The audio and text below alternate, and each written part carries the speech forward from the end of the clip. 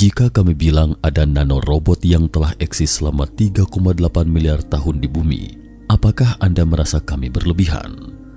Dan jika kami bilang lagi ada ilmuwan menyuntikkan ribuan nanorobot ini ke rongga dada seorang laki-laki tua pada empat tahun yang lalu, apakah Anda akan merasa lagi-lagi kami mulai menceritakan kisah fantasi lagi? Sebenarnya yang ingin mata ketika bahas hari ini adalah masalah ilmiah yang sangat serius, masalah ilmiah tentang nasib umat manusia.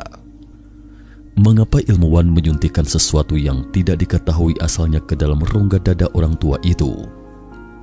Karena orang tua itu terinfeksi Pseudomonas aeruginosa akibat kecelakaan operasi jantung 4 tahun yang lalu. Pseudomonas aeruginosa adalah bakteri yang sangat mengerikan. Secara alami kebal terhadap sebagian besar antibiotik yang kita miliki Bahkan meski menggunakan alkohol pembersih tangan sekalipun juga sulit untuk benar-benar membasminya. Bakteri ini berbentuk batang, motil dan berukuran sekitar 0,6 kali 2 mm, bersifat motil atau bergerak dan dapat muncul dalam bentuk tunggal, berpasangan atau kadang-kadang dalam bentuk rantai pendek. Dalam empat tahun sejak terinfeksi, rongga dada lelaki tua itu belum dijahit dia harus mengandalkan antibiotik dengan dosis super besar dan disuntikan langsung ke rongga dadanya untuk menyelamatkan hidupnya. Bisa dibayangkan betapa tersiksanya pria malang itu. Hingga suatu hari, seorang ilmuwan peneliti dari Universitas Yale, Departemen Ekologi dan Biologi Evolusi bernama Benjamin Chan, menyuntikkan ribuan nanorobot bernomor OMKO-1 ke dalam rongga dada lelaki tua itu. Beberapa minggu kemudian, terjadilah keajaiban. Infeksinya telah hilang sepenuhnya dan lelaki tua itu pun sembuh. Nanorobot OMKO-1 yang ditanamkan ke rongga dadanya memiliki nama yang lebih rasional, yakni bakteriofag, virus yang menyerang bakteri. Bakteriofag Tidak diketahui kapan munculnya bakteriofag, tetapi yang pasti ia sudah ada sebelum bakteri pertama di muka bumi. Saat ini fosil bakteri tertua yang ditemukan di bumi berasal dari 3,8 miliar tahun yang lalu. Keberadaan bakteriofag secara khusus berburu bakteri. Dengan kata lain, di atas planet biru kita, setidaknya selama 3,8 miliar tahun telah terjadi perang setiap saat dan tak berkesudahan. Perang ini menyebabkan triliunan korban setiap hari, tapi kita tidak pernah menyadari perang ini. Dari awal hingga akhir pertempuran ini, hanya ada satu iblis besar, dan dia adalah nanorobot kuno di planet biru, bakteriofag. Bakteriofag berada di antara makhluk hidup dan abiotik, istilah yang digunakan untuk menyebut sesuatu yang tidak hidup. Kepalanya berbentuk ikosaedron yang aneh Icosahedron adalah salah satu dari lima jenis polyhedra biasa. Memiliki 20 wajah segitiga, 30 sisi, 12 sudut di setiap titik pertemuan lima tulang iga. Bagian kepalanya mengandung materi kehidupan yang paling primitif, helix ganda DNA. Helix ganda adalah struktur yang dibentuk molekul-molekul asam nukleat seperti DNA sedangkan di bawah kepala berupa ekor dengan struktur spiral geometris yang sempurna. Dan di bagian bawah ekor adalah lima kaki dengan struktur geometri yang sempurna. Kita tahu, alam tidak dapat menggambar garis lurus. Semua makhluk hidup maupun tak hidup yang berevolusi secara alami mustahil memiliki struktur geometris yang sempurna seperti mesin buatan manusia. Tapi justru bakteriofag adalah pengecualian terutama dalam beberapa tahun terakhir sejak penelitian mendalam tentang bakteriofag, semakin banyak ilmuwan seakan bergumam, tampaknya ada yang menciptakannya. Planet robot nano Di dunia subjektif kita, manusia jelas merupakan spesies paling sukses di atas planet biru ini. Sejak 12.000 tahun yang lalu, manusia secara bertahap dan sepenuhnya menguasai planet ini namun faktanya, planet biru kita telah dikuasai oleh bakteriofag sejak 3,8 miliar tahun silam. 12.000 tahunnya manusia sama dengan sekilas kedipan mata. Dengan menggunakan mikroskop mengamati bumi, kita akan menemukan bahwa meski menggabungkan semua bentuk kehidupan di bumi, termasuk manusia, hewan, tumbuhan, bakteri, dan mikroorganisme, jumlah totalnya juga tidak dapat melampaui jumlah total bakteriofag. Para ilmuwan memperkirakan bahwa jumlah total bakteriofag di bumi kira-kira 10 EEXPONET31. Berapa besar jumlah ini? Di lingkup alam semesta yang telah kita amati, Jumlah total bintang adalah sekitar 10 EEXPONET atau dengan kata lain bakteriofag di bumi seribu kali lebih banyak daripada jumlah planet di langit. Pada saat ini, ada puluhan juta fag, singkatan dari bakteriofag, di tangan, ponsel, pakaian, kelopak mata, perut dan usus Anda, bahkan di udara yang Anda hirup. Bakteriofag adalah akar penyebab kematian sebagian besar makhluk hidup di bumi dan mereka layak menjadi raja iblis terkuat di planet biru. Tapi tak perlu khawatir, bakteriofag tidak tertarik pada sel-sel di tubuh Anda. Raja iblis ini atau fag hanya tertarik memburu raja iblis kedua di planet biru, bakteri. Sekitar 40% bakteri laut di planet biru ini diburu oleh fag setiap hari artinya melenyapkan setengah kehidupan di alam semesta. Di planet biru, perburuan itu nyaris dilakukan setiap hari oleh Fag karena bakteri adalah organisme hidup paling banyak di planet biru atau bakteriofag berada di antara makhluk hidup dan non-hidup. Jumlah totalnya mencapai 10 AAXPONET, sementara jumlah total manusia hanya 7 kali 10 AAXPONET 9. Anda mungkin bertanya, jika laju kecepatannya seperti itu, bukankah fag dapat memusnahkan semua bakteri di planet biru dalam beberapa hari? Bakteri adalah bagian inti dari siklus ekologi di planet. Lalu mengapa siklus ekologi planet biru ini tidak hancur? Sebenarnya inilah kelemahan atau kecerdasan bakteriofag. Bakteriofag harus memiliki inang untuk bertahan hidup dan berkembang biak. Untuk kelangsungan hidup dan reproduksinya, fag tidak mungkin membunuh inangnya. Oleh karena itu, bakteriofag dengan cerdas memilih bakteri sebagai inangnya karena bakteri adalah organisme yang paling cepat berkembang biak di planet biru. Contoh misalnya, dalam beberapa tahun terakhir kita semakin jarang mendengar kasus kematian akibat AIDS. Virus AIDS tampaknya bermutasi secara cerdas, membuat dirinya semakin tidak mematikan bagi inang barunya manusia. Terdengar menakutkan bukan? Coba bayangkan lagi wujud bakteriofag seperti nanorobot. Setan besar di antara makhluk hidup dan non-hidup ini benar-benar bermaksud mempermainkan segalanya. Jika kita tidak menahan diri sewenang-wenang terhadap alam, maka manusia akan menyebabkan kepunahan sejumlah besar spesies dalam beberapa dekade ke depan. Namun jika fag tidak menahan diri, maka dalam beberapa hari ke depan, mereka, bakteriofag dapat melakukan kepunahan yang ditargetkan dari semua spesies di planet biru, tidak terkecuali manusia. Cara kerja iblis besar bakteriofag Bagaimana cara kerja bakteriofag, iblis besar ini? Secara garis besar kira-kira seperti ini. Ada pembagian wilayah yang jelas di dalam fag Biasanya jenis fag tertentu akan memilih jenis bakteri atau sel tertentu sebagai mangsa. Kemudian bak peluru kendali presisi menargetkan mangsa yang diincar. Ketika fag menemukan mangsa tertentu, kaki yang berjalan di ekornya akan lebih dulu bergabung dengan posisi menggenggam di permukaan mangsa. Setelah mengikat, fag akan menjulurkan jarum seperti jarum suntik dari ekor menusuk permukaan mangsanya. Selanjutnya, Fag menyuntikkan DNA helix ganda dari kepalanya ke mangsanya melalui beberapa aktivitas yang tidak diketahui manusia. Dalam beberapa menit kemudian, mangsa akan sepenuhnya dikendalikan oleh DNA helix ganda ini. Mangsa itu kemudian mulai bekerja sesuai dengan instruksi DNA Fag. Langkah pertama adalah memasukkan DNA Fag ke dalam genomnya sendiri dan menggunakan pabrik biokimianya sendiri mulai memproduksi berbagai komponen untuk Fag. Komponen-komponen ini tampak seperti protein dan DNA yang tidak beraturan. Namun ketika bagian-bagian ini dirakit, kita pun terkejut menemukan sejumlah bakteriofag yang identik dengan tubuh penyerang diproduksi dan pasukan nanorobot baru sedang diproduksi di dalam tubuh bakteri.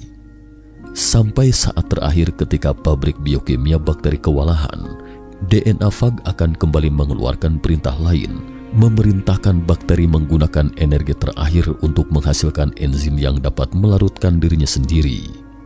Setelah enzim diproduksi, bakteri pecah dari dalam, fag baru yang tak terhitung jumlahnya dilepaskan dan siklus dimulai lagi. Manusia yang naif Manusia yang mengaku sebagai jiwa dari selaksa makhluk menyebar ke seluruh bumi dan menciptakan peradaban. Namun Raja Iblis kedua, yakni bakteri pernah mendekam dalam tubuh manusia. Sementara bakteriofag tanpa henti menindas bakteri, bakteri lalu melampiaskan amarahnya ini pada manusia. Meski pada satu abad lalu, Anda mungkin akan terbunuh oleh bakteri hanya karena infeksi luka kecil atau seteguk air kotor. Di era itu, bakteri adalah fagnya manusia.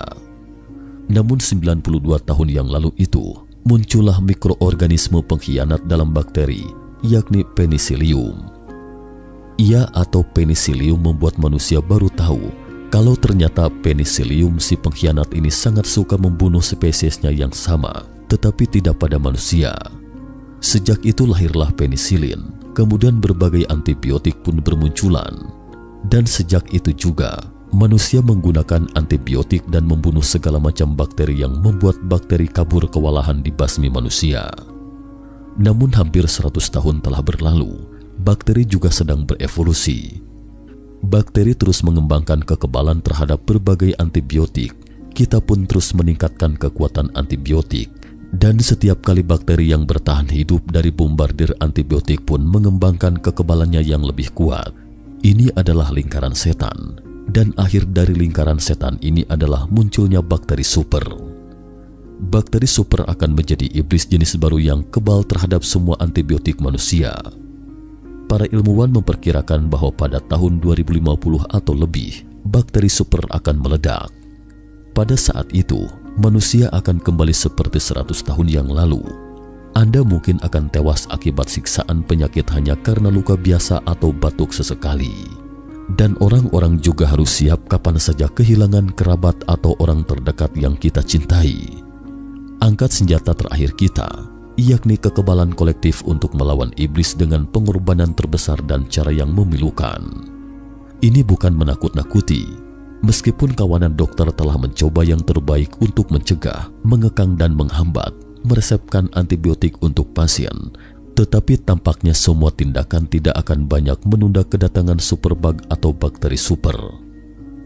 Pada tanggal 18 Agustus 2016, seorang nenek berusia 70 tahun di Amerika dirawat di ruang gawat darurat karena infeksi luka di bokongnya. Sistem kekebalan tubuhnya kelebihan beban untuk melawan bakteri yang terinfeksi sehingga menyebabkan peradangan di sekujur tubuhnya. Dalam siksaan sakit yang hebat, si nenek terus mengalami shock septik, yakni infeksi luas yang menyebabkan kegagalan organ. Dokter telah menggunakan semua antibiotik yang ada di pasaran, bahkan mengeluarkan apa yang disebut segel permanen, yang merupakan senjata terakhir untuk melawan bakteri superkolistin. Namun tidak ada satupun antibiotik yang dapat membunuh bakteri dalam tubuh si nenek. Akhirnya beberapa hari kemudian, dokter hanya bisa menatap tak berdaya kepergian si nenek karena kegagalan organ. Para dokter menyadari dengan putus asa bahwa bakteri super telah tiba. Dalam menghadapi bakteri super, kita benar-benar tidak berdaya. Para ilmuwan memperkirakan bahwa sampai pada tahun 2050, puluhan juta orang akan meninggal karena infeksi superbug tahun itu. Jika tidak ada tindakan pencegahan yang efektif pada saat itu, jumlah kematian akan meningkat secara eksponensial setiap tahun dan pertumbuhan ini tidak akan berakhir. Karena bakteri tidak seperti bakteriofag yang memiliki kecerdasan simbiosis dengan inangnya, pembalasan bakteri pada manusia adalah pemusnahan skala besar. Superbug pernah dianggap sebagai cara yang paling mungkin memusnahkan manusia dalam 100 tahun. Air Sungai Gangga Kembali pada tahun 1896, seorang backpacker Inggris melakukan perjalanan jauh ke India. Sama seperti sebelumnya, pemandu di India memperkenalkan kepadanya. Ayo anak muda, habiskan semangkuk air sungai Gangga ini. Namun backpacker itu melihat banyak mayat yang mengambang di sungai Gangga. Bagaimanapun juga, dia tidak berani minum air Gangga itu. Sambil tersenyum, pemandu wisata berkata, Jangan takut, kami baru saja mengalami wabah kolera di sini. Mayat-mayat ini meninggal karena kolera. Tapi justru karena kami punya air suci Gangga inilah, sehingga terhindar dari bencana dan penyakit, tidak menyebabkan ledakan wabah kolera. Sekarang kolera telah hilang. Jika tidak minum air Gangga ini, maka kami tidak dapat menjamin Anda tidak akan terkena kolera loh, kata pemandu wisata meyakinkan. Belakangan entah apakah backpacker itu minum air gangga yang disajikan, tetapi kami tahu backpacker itu telah meneliti air gangga. Dia menambahkan Vibrio cholerae atau bakteri gram negatif ke media yang terbuat dari air gangga dan terkejut menemukan bakteri kolera tidak tumbuh. Lalu dia menulis makalah yang penting. Menurutnya bahwa ada zat khusus dalam kandungan air gangga yang diminum orang-orang India yang dapat menghambat reproduksi bakteri kolera. Backpacker ini bernama Ernest Hanbury Henkin, seorang ahli bakteriologi Inggris yang terkenal. Dia juga diakui sebagai orang pertama yang menemukan dan mengkonfirmasi bahwa fag dapat digunakan untuk mengobati penyakit bakteri. Belakangan Perang Dunia I pecah dan tak disangka semangkuk air gangga ini ternyata benar-benar menyelamatkan banyak tentara dari bakteri iblis ini. Sejak itu, terlintas kesadaran yang tertanam dalam benak para ilmuwan melawan racun dengan racun atau melawan bakteri dengan bakteri menggunakan raja iblis bakteriofag terkuat melawan raja iblis kedua bakteri penyebab penyakit dan membiarkan bakteriofag membantu manusia membunuh bakteri. Tetapi belakangan, karena pengkhianat di antara bakteri dan manusia menguasai teknologi antibiotik, gagasan melawan racun dengan racun itu pun diam-diam disembunyikan. Hingga beberapa tahun terakhir kemudian menjelang tibanya bakteri super, para ilmuwan baru membuka kembali metode itu dan bermaksud menjinakkan Raja Iblis bakteriofag, menjadikannya nanorobot yang dapat digunakan oleh manusia untuk melawan bakteri super. Konfrontasi Antibiotik saat ini seperti bom karpet membunuh bakteri patogen tapi juga sekaligus merusak sel sendiri dan membunuh bakteri yang bermanfaat. Tetapi jika bisa memanfaatkan fag dengan baik, Raja Iblis ini hanya tertarik untuk membunuh bakteri tertentu. Jadi bagaimanapun, manusia telah mendapatkan senjata berpemandu presisi membunuh bakteri tertentu secara akurat, bahkan dapat meramu koktail seperti air gangga di atas – membunuh bakteri secara selektif sesuai dengan bakteri yang berbeda di setiap tubuh manusia. Akankah bakteri berevolusi lagi kemampuan kekebalannya melawan bakteriofag? Faktanya, fag berevolusi lebih cepat daripada bakteri. Perlombaan senjata antara dua raja iblis ini telah berlangsung selama ratusan juta tahun. Jelas fag selalu berada di atas angin. Meskipun bakteri super berevolusi kemampuan seperti bakteriofag, namun menurut prinsip evolusi, ia pasti akan melemahkan kekebalannya terhadap antibiotik sehingga dengan demikian kita dapat menggunakan antibiotik untuk membunuhnya. Dalam beberapa tahun terakhir, para ilmuwan mulai mempelajari gagasan ini secara serius, namun terjadi sesuatu yang mengejutkan. Ternyata gagasan ini telah dipraktekkan oleh ilmuwan Soviet satu abad lalu. Dari luar angkasa hingga mikroba, dari psikologi hingga kekuatan super, teknologi hitam Soviet ternyata memang bukan isapan jempol belaka. Para ilmuwan bahkan menemukan sejumlah besar kasus di mana Uni Soviet menggunakan terapi fag untuk mengobati tentaranya yang terluka selama Perang Dunia II. Hanya saja catatan ilmiah dan medis yang ditulis dalam bahasa Rusia dan Georgia ini ternyata tidak pernah diperhatikan oleh masyarakat internasional karena Perang Dingin dan baru dikaji kembali dalam beberapa tahun terakhir. Meski terdengar aneh, nanorobot ini seperti hadiah yang telah disiapkan untuk umat manusia sejak 3,8 miliar tahun yang lalu. Apakah semua ini kebetulan atau takdir? Cukup sekian dulu topik kita hari ini. Jika suka dengan video mata ketiga, jangan lupa like, subscribe, dan share. Terima kasih atas perhatiannya dan sampai jumpa di episode berikutnya.